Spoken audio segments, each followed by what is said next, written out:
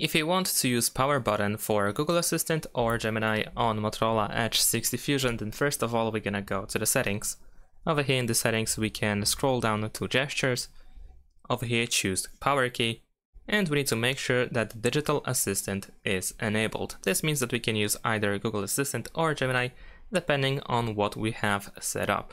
So if you want to use Gemini, we can find the Gemini app in the Google folder, at least by default in the app drawer, and then of course, you can set it up over here.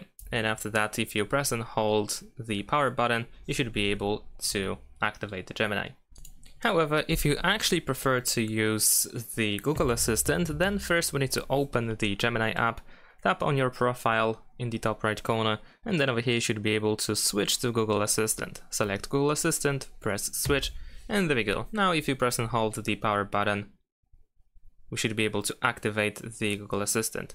Unfortunately, it seems to be buggy for now, because even though the microphone is being activated, it doesn't actually work for some reason. So that's about it. Thanks for watching, leave a like and subscribe to my channel and see you in my next videos. Bye!